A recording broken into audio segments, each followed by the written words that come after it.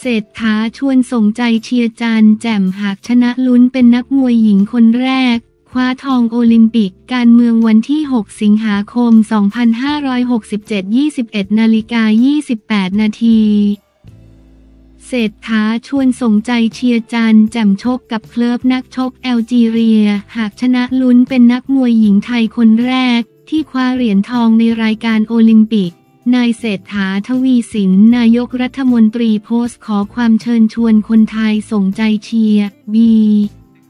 จันทร์แจ่มสุวรรณเพ็งนักมวยสากลทีมชาติไทยว่าคืนนี้ 3 นาฬิกา 34 นาที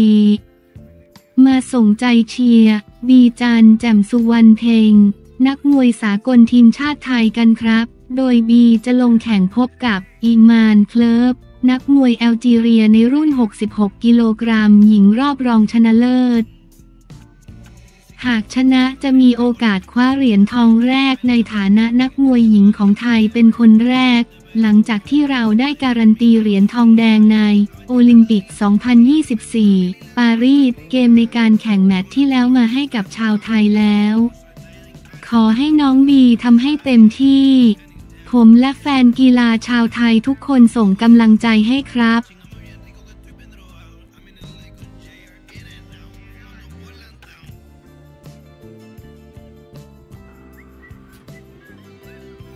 กุลวุฒิรับไม่คาดหวังได้เหรียญจากโอลิมปิกผลแรกอยากกินชาบูบุฟเฟ่ปิ้งย่างกีฬาวันที่ 7 สิงหาคม 2567 8นาฬิกา37 นาที กุลวุฒิวิทิตสารฮีโร่เหรียญเงินโอลิมปิก เกมยอมรับไม่ได้คาดหวังถึงขั้นติดเหรียญกับโอลิมปิกเกมครั้ง เผยคิดถึงเมนูชาบูบุฟเฟ่ต์ปิ้งย่างเป็นอย่างแรกเมื่อวันที่ 7 สิงหาคม ที่สนามบินสุวรรณภูมินายเสริมศักดิ์พงษ์พานิชรัฐมนตรีว่าการกระทรวงท่องเที่ยวและกีฬาเป็นประธานต้อนรับคณะนักกีฬาทีมชาติไทยที่กลับมาจากการแข่งโอลิมปิกเกม 2024 ที่กรุงปารีสประเทศฝรั่งเศสโดยคณะนักกีฬาชุดนี้ประกอบด้วยนักกีฬาแบดมินตัน ยิงปืนและกรีธาซึ่งนำทัพมาโดย วิว กุลวุฒิวิทิตสารเจ้าของเหรียญเงินประวัติศาสตร์โอลิมปิกไทยในกีฬาแบดมินตัน นายเสริมศักดิ์กล่าวโวอาผมรัฐมนตรีว่าการท่องเที่ยวและกีฬาในฐานะตัวแทนของท่านนายกรัฐมนตรีรู้สึกเต็มมอกเต็มใจที่สุดที่ได้ยืนอยู่เคียงข้างนักกีฬาผู้ที่มีผลงานโดดเด่นสามารถคว้าเหรียญเงิน และเป็นคนแรกที่คว้าเหรียญเงินในกีฬาแบดมินตันโอลิมปิกในครั้งนี้ นั่นแสดงให้เห็นว่าที่ผ่านมามีการฝึกฝนเป็นอย่างดี ในวันที่แข่งจะเห็นว่าเป็นผู้ที่มีความพร้อม มีสติปัญญาและไหวพริบจนได้รับเหรียญเงินในวันนี้ ถือโอกาสแสดงความยินดีจากพี่น้องชาวไทยทุกๆ คนท่านคือบุคคลที่สำคัญในวงการกีฬาที่สามารถคว้าเหรียญเงินมาให้กับคนไทยทั้งชาติในครั้งนี้ ขอเรียนให้ทราบว่ารัฐบาลเตรียมจัดงานเฉลิมฉลองหลังจากพาราลิมปิกเกมเสร็จสิ้นการแข่งแล้วจะฉลองพร้อมกัน และวันนี้ผมจะได้พาคุณวิวรวมถึงนักกีฬาที่กลับมาวันนี้เข้าพบกับท่านายก นายเศรษฐาทวีสินที่ทำเนียบรัฐบาลซึ่งท่านนายกรอต้อนรับและร่วมแสดงความยินดี อย่างที่รู้ดีว่าคนไทยรู้สึกปลื้มใจแทนคุณวิวในการคว้าเหรียญ อีกครั้งนี้และร่วมแสดงความยินดีด้วย หวังว่าอีกสี่ปีข้างหน้าเหรียญทองจะรอเราอยู่ ด้านกุลวุฒิกล่าวว่า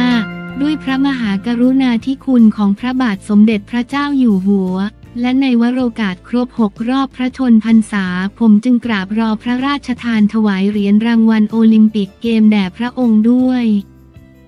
ตอนนี้สิ่งที่อยากทำคืออยากพักมากๆ เนื่องจากการแข่งโอลิมปิกใช้เวลานาน และการเดินทางกลับไทยใช้เวลานานด้วย จึงอยากหยุดพักผ่อนแล้วรอดูว่าตารางฝึกซ้อมต่อไปของเราเป็นอย่างไร หลังจากอาจจะต้องเดินทางขอบคุณผู้สนับสนุนซึ่งตรงกับรายการแข่งทั้งเจแปนโอเพนและโคเรียโอเพนโดยในรายการเจแปนโอเพนอาจจะต้องไปแข่งแต่ในโคเรียโอเพนคงต้องขอถอนตัวเนื่องจากต้องเดินทางไกล ที่สำคัญต้องดูสภาพร่างกายด้วย ผมเชื่อว่าผลงานของเราจะ drop ลงแน่นอน ในโอลิมปิกเกมครั้งนี้เราได้เรียนรู้มากขึ้น ยอมรับว่าในรอบชิงชนะเลิศเราเป็นรองจริง ๆ จุดอ่อนคือเกมบุกของเราจะเห็นได้ว่ารอบชิง เกมรุกเราทำอะไรคู่ต่อสู้ไม่ได้เลย ประกอบกับคู่ต่อสู้เราแข็งแกร่ง สูงยาวหลังจากนี้ต้องพัฒนาเกมบุกของตัวเองให้มากขึ้น ส่วนตัวอยากฝากกับน้องๆรุ่นหลังว่าอยากให้น้องๆ มีเป้าหมายในอนาคตก่อนว่าวันข้างหน้าเราอยากเป็นอย่างไร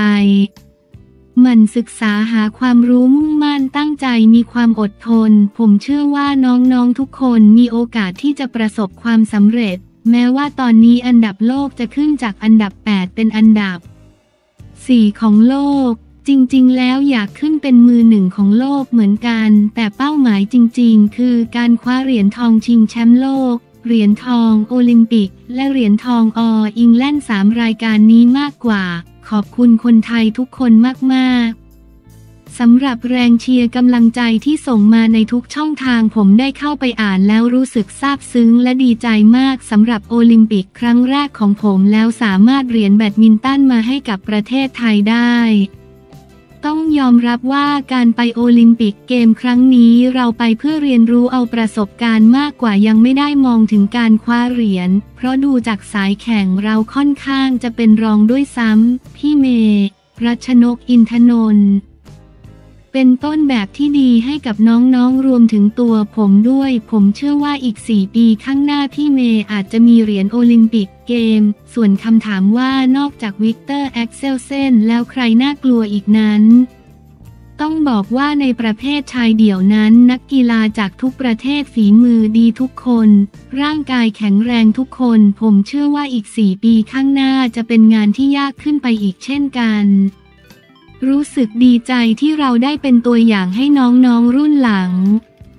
ผมจะพยายามทำตัวเองให้ดีเพื่อให้รุ่นน้องได้เอาเป็นแบบอย่าง ต้องขอบคุณโรงเรียนแบดมินตันบ้านทองหยอด แม่ปุกโคชเป้ รวมถึงทุกๆ คนที่บ้านทองหยอดซึ่งคอยสนับสนุนผม รวมถึงครอบครัวผมด้วย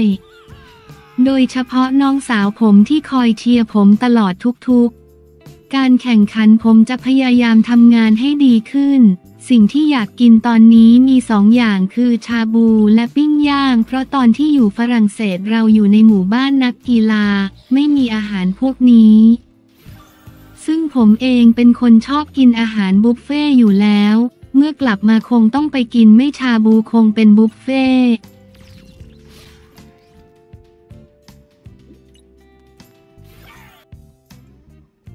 ทิธาไม่สนใจภาพตระกูล ชินวัตรพบ ประยุทธ์ ลั่นประชาชนต้องมาเป็นอันดับหนึ่ง การเมืองวันที่ 7 สิงหาคม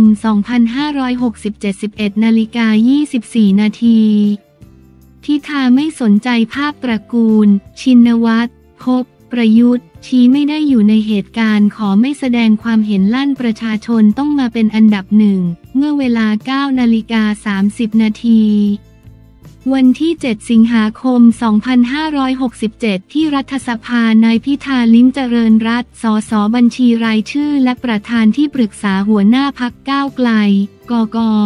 ให้สัมภาษณ์ถึงกรณีปรากฏภาพของครอบครัวชินวัตรพบกับพลเอกประยุทธ์จันโอชาองคมนตรี ที่งานศพแม่ของนายเศรษฐาทวีสินนายกรัฐมนตรีว่าตนไม่สามารถแสดงความคิดเห็นได้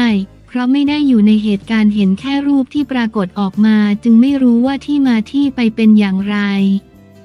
ตอนนี้ไม่มีความคิดเห็นอะไรไปมากกว่านี้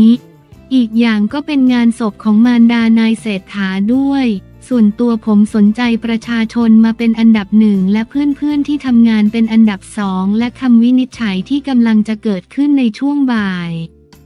จึงไม่ได้ไปสนใจเรื่องอื่น อย่างไรก็ตาม